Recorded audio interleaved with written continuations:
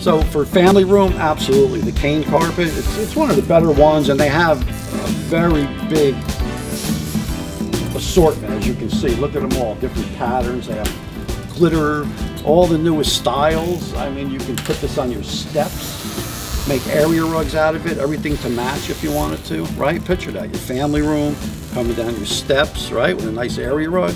We could bind it or do the um, custom uh, featuring on it. A lot of things we could do with this, and, and their selection is tremendous. They have a ton of it. So, yeah, we'll look at some of these, and I think you'll be happy with them. And how long does it maintain its initial color?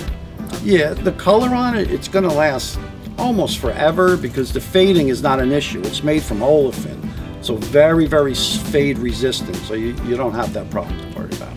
Frankie D over at Just Carpets and Flooring.